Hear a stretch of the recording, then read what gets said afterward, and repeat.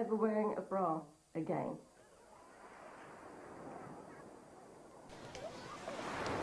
There's a Channel 4 recorded information line that looks at the health effects of wearing or not wearing a bra. The number to call is 0870 400 2235. Lines are open around the clock and calls cost no more than 8 pence a minute. That's 0870 400 2235.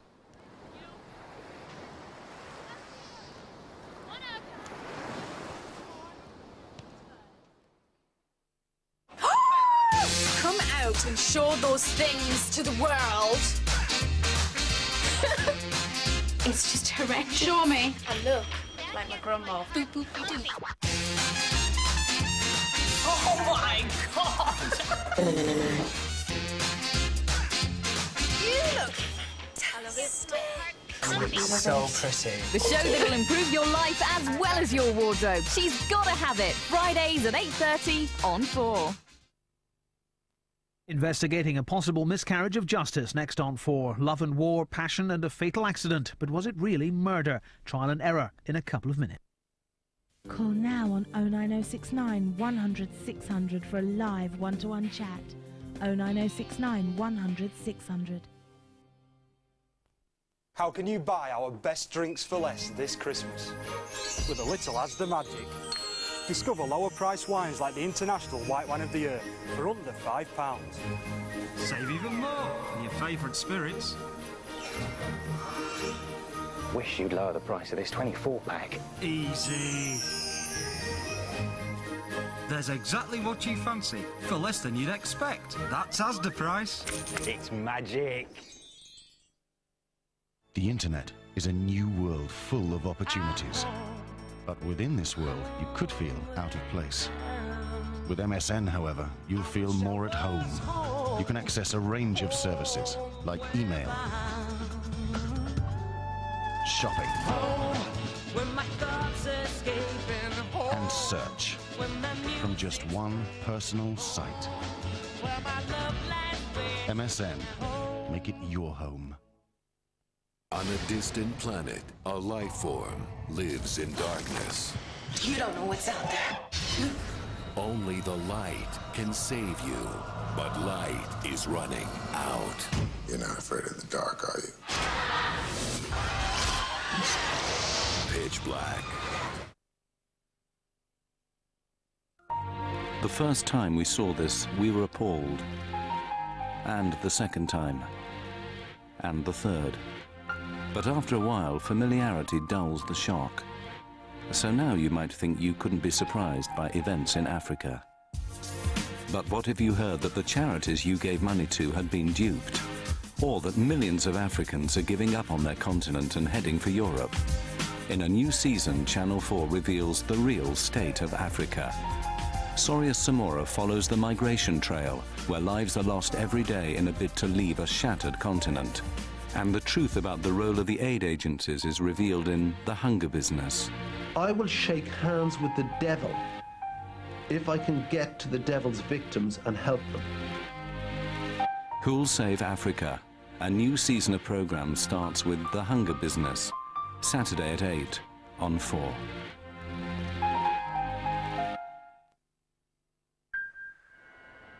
Now on for trial and error, an investigation into a suspicious drowning. Was it calculated murder or was it the tragic result of a car accident?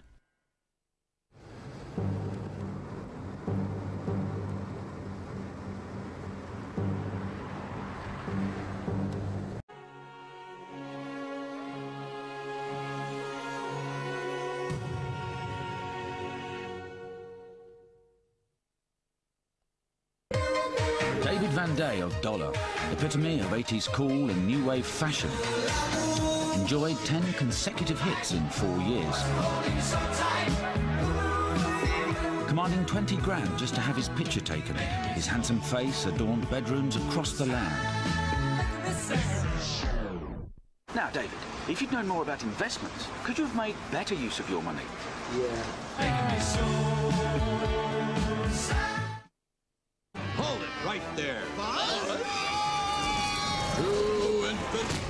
Toy Story 2 on video and DVD. It's playtime.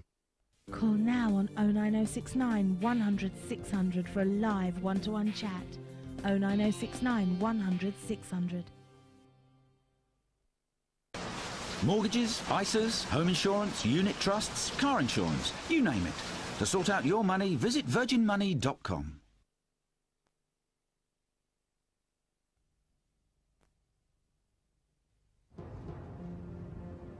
A racing driver can walk away from a 180 mile an hour crash.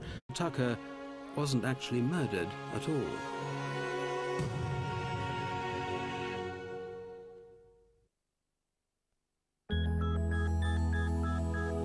This is your unique doorway to a whole new world. A world that AOL is making simpler, faster, and easier to use for everyone. We're making the world smaller by thinking bigger, opening up new ways for you to communicate so you can be part of a global community of over 25 million members. We can make sure you'll never forget those important dates. And if you want, we'll help you choose the right gifts and even deliver them straight to your door. We'll give you access to the best of everything from wherever you want. And as for the future, just wait until you see what we can do together. Welcome to AOL. Call 0800 237 237 to be part of it.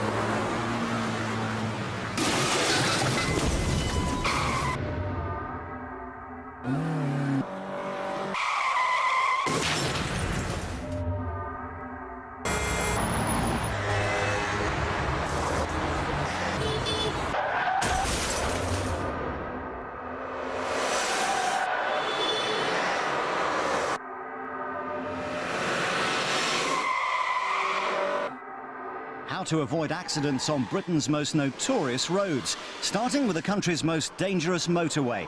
Accident Black Spot begins Tuesday at 8.30 on 4.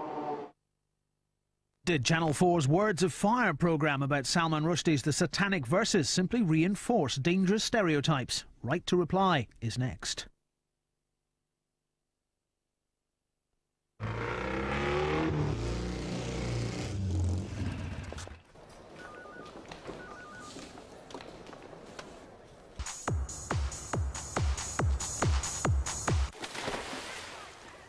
Got a cold sore, don't hide away, treat it with Zovirax.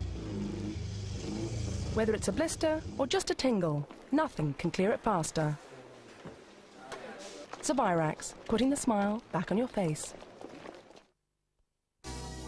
If you're single, or even if you're not, you'll always be welcome at the Singles Bar. People call in every day looking to chat, get a date, or perhaps something more. You'll find the Singles Bar on 09062 622 666. And we have thousands of callers every day looking for fun. So why don't you join them on 09062 622 666? Call us now. Antarctica, even now a challenge for extreme explorers. In 1914, Ernest Shackleton's dream was to be the first to cross this bleak continent. With only the most basic equipment, he and his adventurers pitched themselves against a hostile environment. Ordinary men against the raw forces of nature, testing their endurance to the limit. Endurance, Shackleton and the Antarctic, Thursday at 8 on 4. Left a bit, générale Tony. Euh, par les coureurs depuis. Down, down a bit. Up. depuis Okay, back where you were. déjà, en fait, hein. Yep. Bon, Left a euh, bit. Right a bit. on met ça sur moi, quoi. Oh.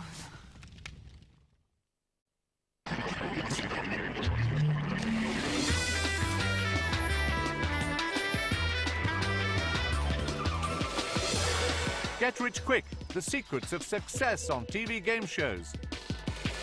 Don't try this at home. TV soap accused of encouraging kids to injure themselves. And watching you, watching them. Why TV companies want your personal data.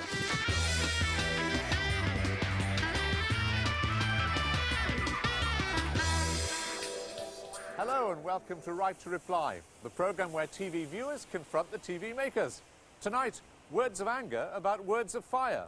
Lucy Watson Russ accuses Channel 4 of broadcasting a one sided and inflammatory account of the controversy over Salman Rushdie's The Satanic Verses. Before that, beware of imitations.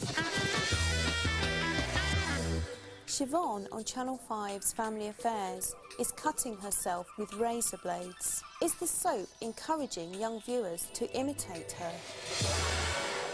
Last week, Right to Reply investigated how mental illness was handled on Brookside. This week, another peak time soap is in the firing line. Family Affairs on Channel 5 is currently showing a character cutting herself with razor blades in an effort to cope with mounting stress.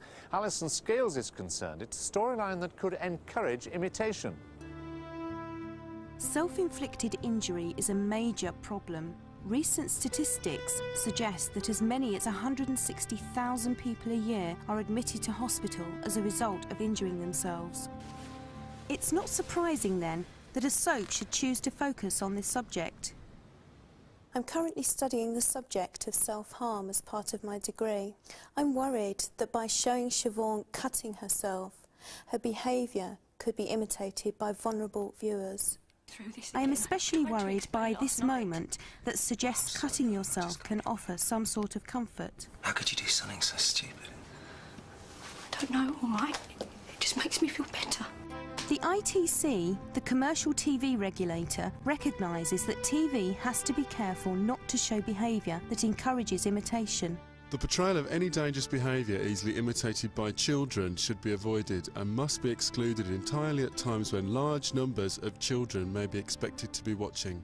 I don't think that images of people injuring themselves are suitable for the 78,000 children under 16 that regularly watch the show at 6:30 every weeknight. We know that school children will imitate each other's self-damaging behaviour. We have to tread a very difficult balance between talking about these problems openly um, and being conservative in the information that we give. We showed Siobhan with a razor blade, but we didn't see how she inflicted the injury on herself, because that is very definitely not an image that you would want to, to show to children. I don't have any fears that people will imitate her behaviour. She doesn't get any long term satisfaction from hurting herself.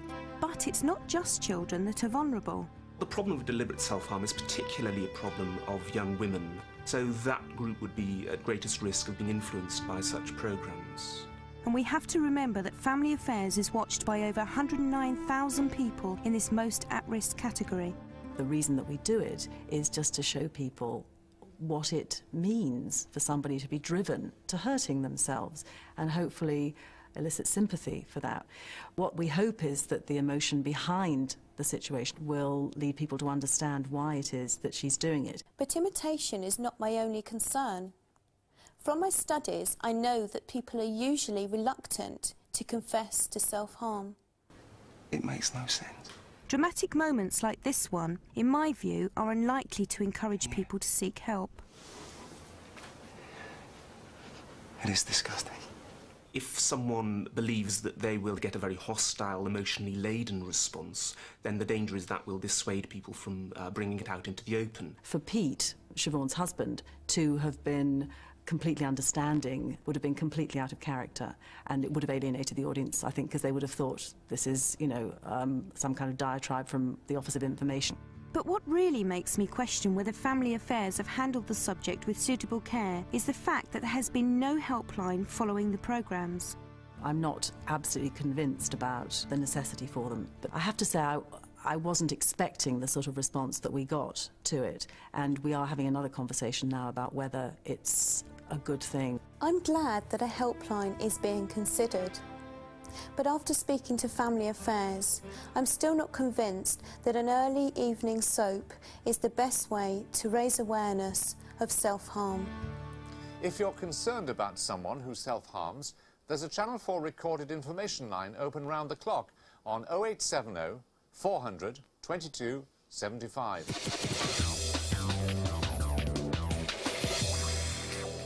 The battle between the big-time game shows intensified this week as Who Wants to Be a Millionaire crowned a £500,000 winner, the first woman to do so.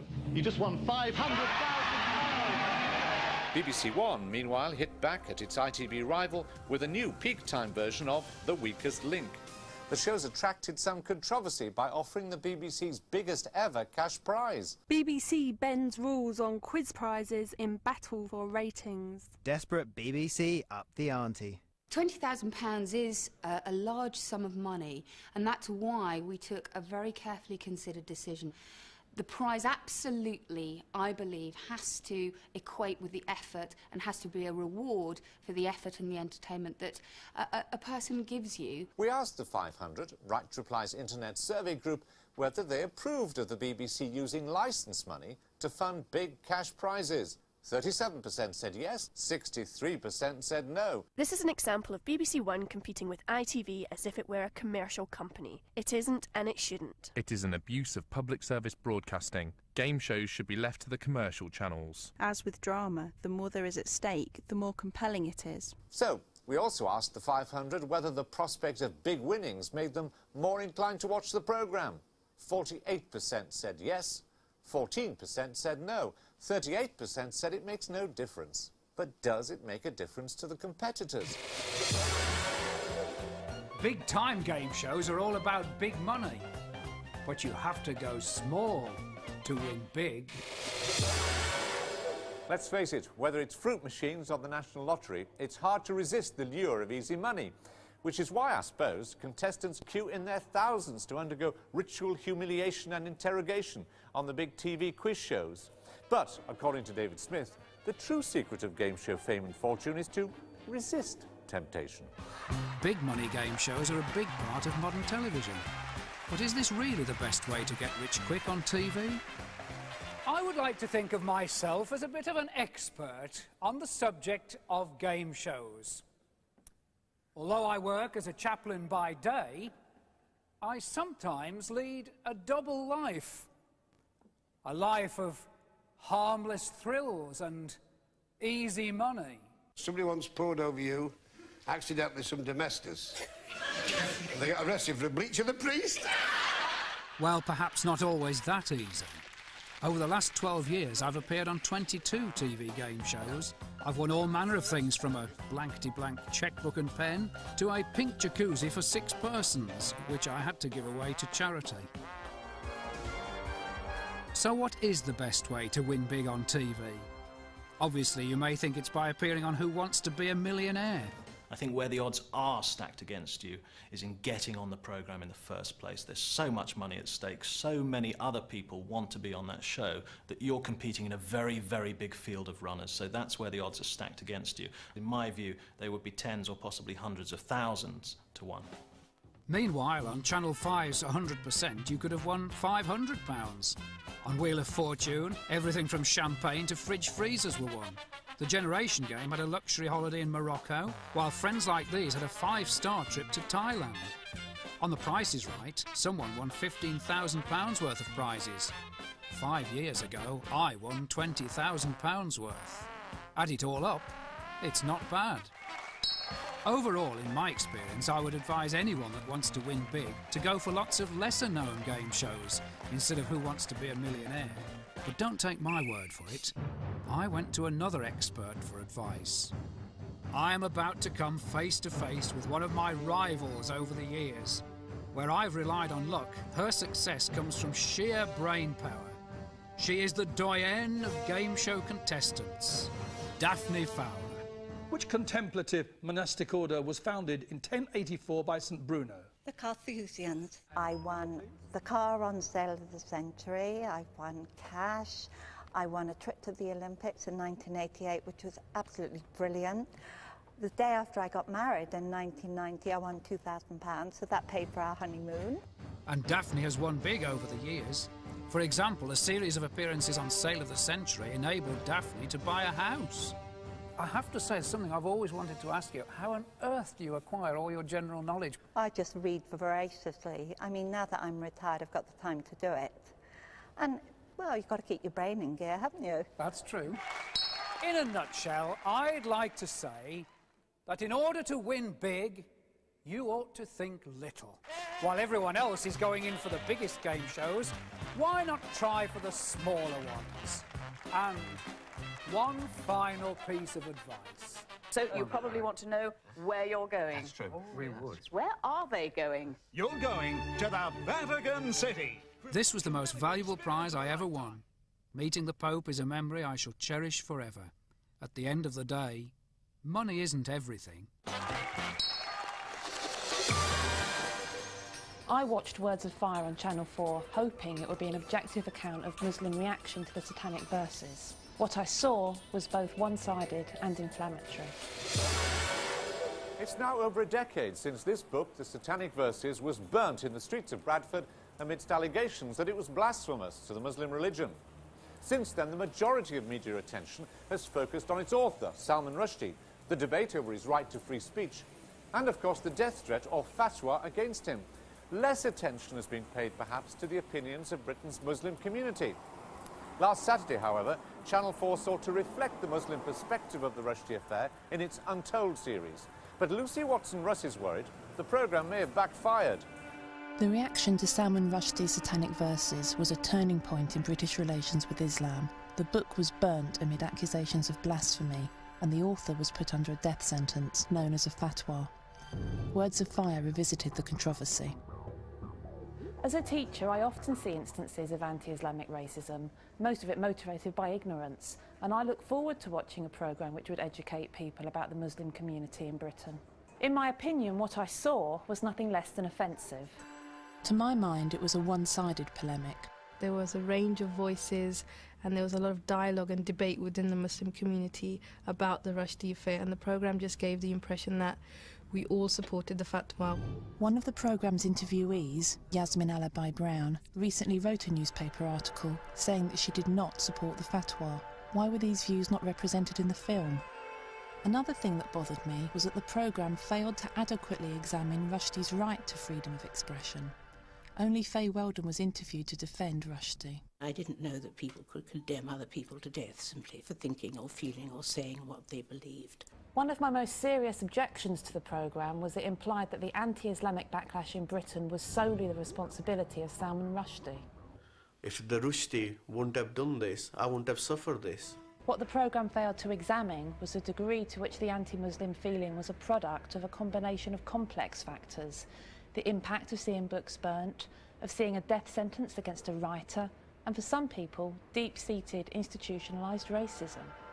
It was an interesting indication of the overall tone of the programme that despite the fact that Iran has said it will no longer endorse any attempt to carry out the fatwa, there was a hint that Rushdie's life was still potentially in danger. If he were to start uh, living a high profile life, then the ho- all wounds will again uh, uh, uh, begin to hurt the community. And obviously, uh, then there is always a danger that he may not uh, die natural life. Words of Fire, for me, has failed to address the genuine issues of institutionalised racism and the debate within the Muslim community. I'm now joined by Lucy Watson-Russ and by Patrick Younge, who's the Multicultural Commissioning Editor responsible for Words of Fire. Patrick, what was the programme supposed to be? What were you trying to do? This was a very targeted programme about the event of the publication of the Satanic Verses and the aftermath of that event. It wasn't an attempt to do a general piece about Islam, it wasn't an attempt to try and sort of demystify Islam. It was about that particular event and its aftermath. Lucy, granted they were going to make that programme, what do you think was missing? I think the thing that was really missing for me was any kind of moderate Muslim voice. It's very interesting to think of it as a targeted programme looking at one particular event in a lot of detail. But in order to look at one event, surely you have to look at both sides of that event. We did that. I mean, Yasmin Alibhai-Brown, Zaki Badawi are two noted liberals. But they didn't Um, say within the programme, or certainly I didn't hear them say, that they were opposed to the fatwa, nor did the commentary say that. The commentary made it quite clear that they were opposed to the fatwa but felt backed into a corner um, when the controversy was at its height, um, in that the liberal establishment so rubbished the Muslim demand for the book to be banned that actually to say it was very difficult for them to get the space to have that argument.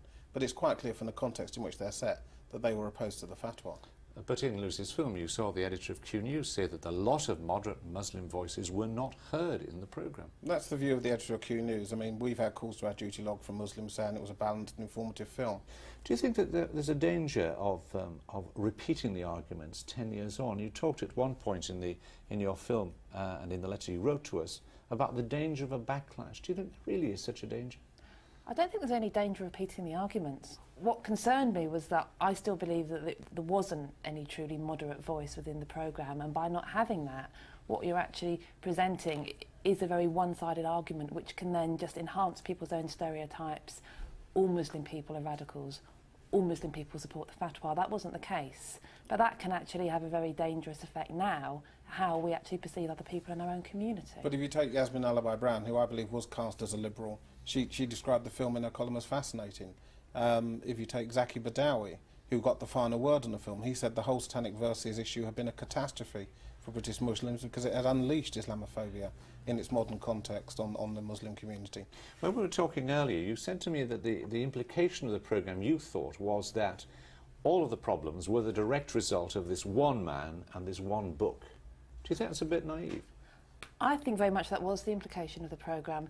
I mean, actually, in the film which we made yesterday, there is the man who was attacked in Bradford saying that had Rushdie not written the book, he would not have been attacked. Another way you could look at that is had a fatwa not been opposed against Satanic verses, he would not have been attacked. By saying that the huge Islamophobia is Salman Rushdie's fault, is actually letting most racists completely off the hook. I think the Islamophobia, I mean, the first wave was following the book burnings, and it was his book that they burned. I mean, I don't believe Salman Rushdie per se is responsible for contemporary Islamophobia. But what we are trying to explore is this event and the reactions of the media and of some Muslims in burning the book certainly did create the, the conditions which have led to the, a large part of modern Islamophobia. I mean, the book burnings were condemned universally in the papers and even by the man who started the campaign. He was appalled by the book burnings. But I think the point uh, perhaps is being made that you know that may have been the match, but there's plenty of Tinder around, and perhaps you should have looked at the net Tinder and where that had come from. But most of that tinder, which we now think was lying around in a large way before, wasn't really there. I mean, the main preoccupation in British media about Muslims pre-Satanic Verses was arranged marriages. After the Satanic Verses, that's where in the paper suddenly all Muslims became fundamentalists. I mean, that's why that montage of newspaper cuttings was there to show how the paper suddenly rounded on all Muslims. All Muslims became fundamentalists. Lucy, another thing that you mentioned to me you would have liked to have seen was what had happened to the Muslim community since over the last 10 years. I think attitudes towards the Muslim community and the Asian community in general haven't changed very much. I think it's very interesting that although the issue has died down in the press, people's attitudes to Asian people in this country haven't changed. I do think it was a pity that wasn't actually discussed in the programme. I think that there's some you know, fairness in that criticism. I mean, we, we did focus heavily on the, the primary event and the, the primary issues around it. We did look at some of the contemporary fallout. Um, you know, those people who still believe the fatwa you know, has value were, were featured in the film. Also, we looked at um, attempts by the Muslim Parliament to try and gain leadership of British Muslims and how that failed. And one of the reasons they failed was that people didn't buy their fundamentalist message. I mean, we also talk about the, how the number of mosques has doubled. So we did pick up aspects of, of, of the progression of that community over 10 years, but I accept that it wasn't you know, the centrepiece of the film. I think you make a really interesting point there that the Muslim Parliament didn't succeed because it didn't have the support of the rest of the, the Muslim community. More moderate liberal voices didn't support it. You've made that point, I agree with you entirely. The programme didn't, though, did it? Uh, I think you'll find Zaki Badawi said that these were the bastard children of Salman Rushdie. You know, they jumped into a leadership position, but you know, no one followed them. So in the end, Lucy, do you think it was a worthwhile venture, or do you still say it shouldn't have been made? I would be very hesitant to say a programme shouldn't have been made, and I did watch the entire thing riveted and, and very much had a lot to think about from it.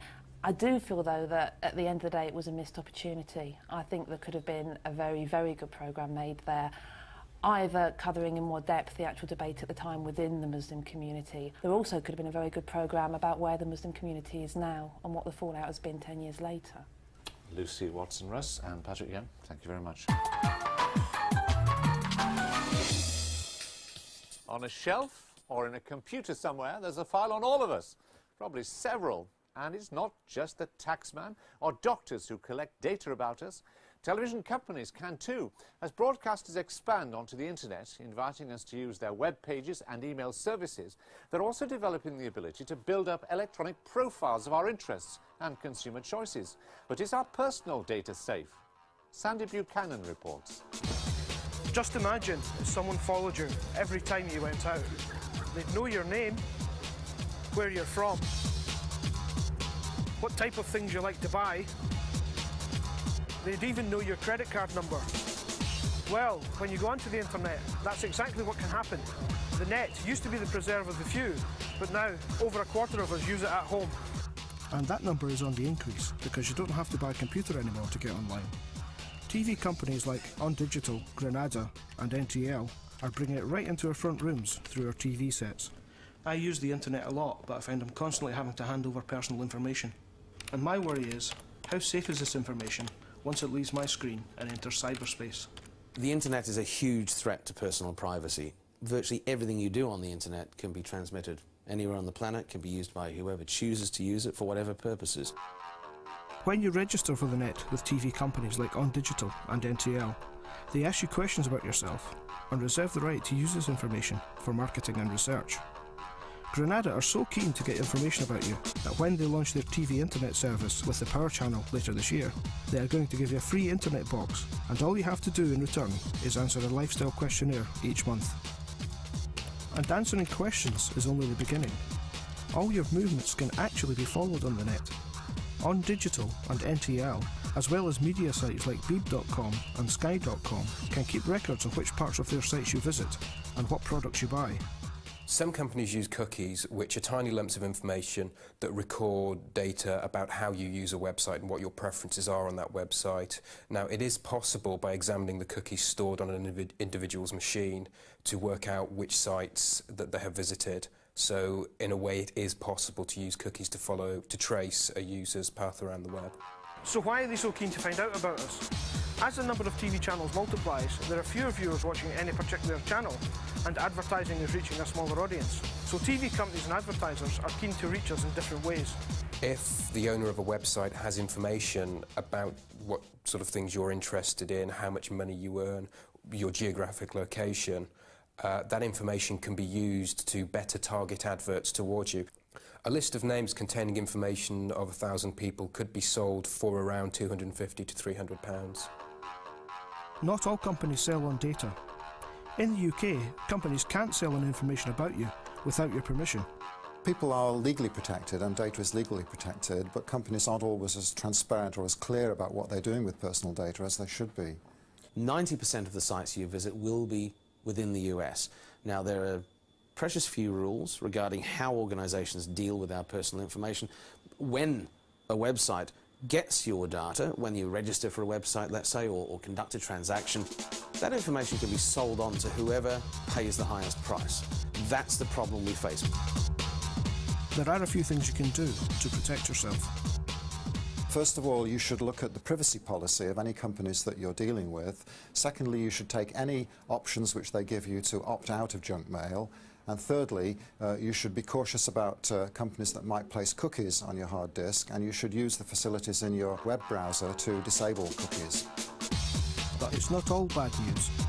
By collecting data in this way and selling it on to marketing companies, you, for a start, you can receive advertising which is much more focused to your personal interests. And also, by doing this, uh, the marketing companies are funding products and services over the internet which otherwise wouldn't be available or would cost a lot of money.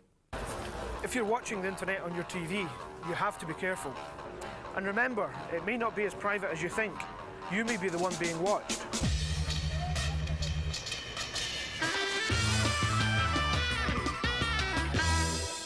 That's it from Right Reply. Until the same time next week, goodbye. Exercise your right to reply by ringing us on 0870 504 4444, emailing us on r2r at channel4.com, or writing to Right to Reply, Channel 4 Television, Horseferry Road, London SW1P 2TX. And you can swap views with other viewers on the Channel 4 website at www.channel4.com.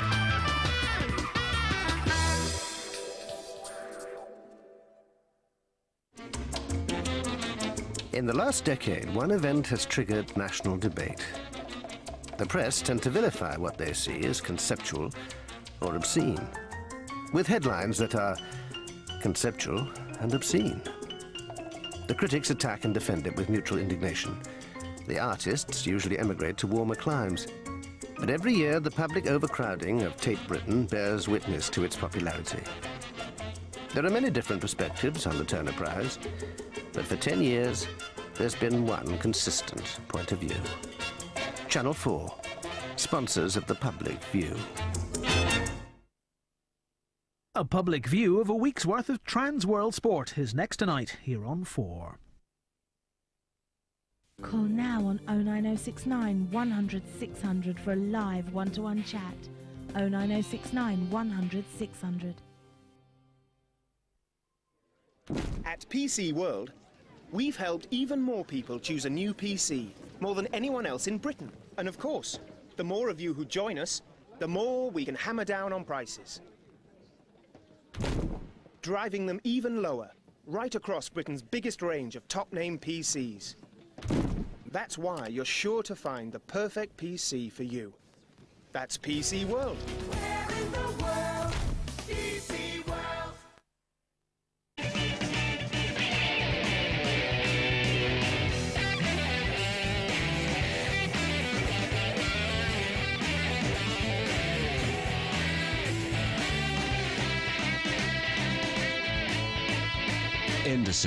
We work, you play. You might think that you know about events in Africa, but did you know that the charities you gave money to had been duped? Or that millions of Africans are giving up on their continent and heading for Europe? Who'll Save Africa? A new season of programs starts with The Hunger Business, Saturday at 8 on 4.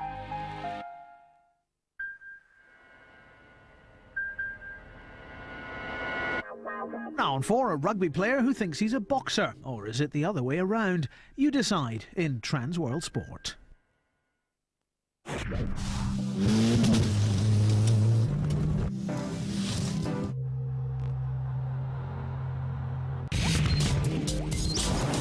Sport on 4 with Stepstone Online Recruitment.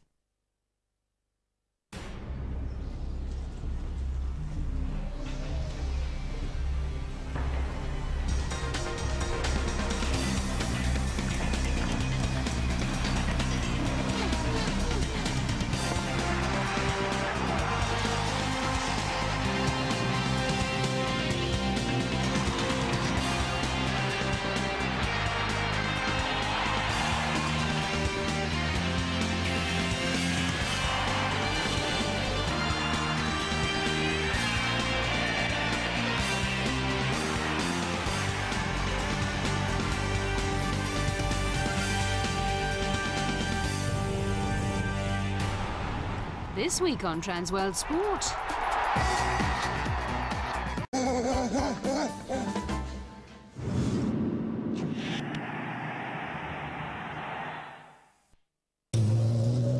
Sport on 4 with Stepstone Online Recruitment.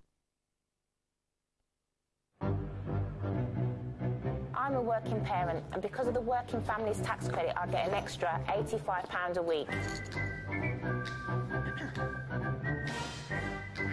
As a working lone parent, I get £230 extra every month.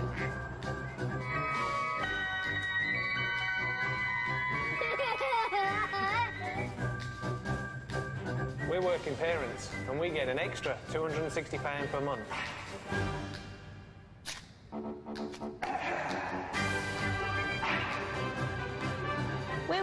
Parents, so we take home an extra £42 a month.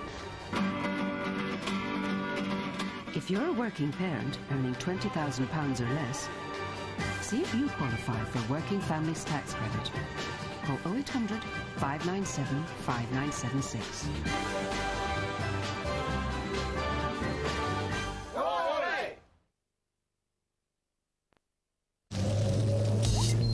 On 4 with Stepstone Online Recruitment.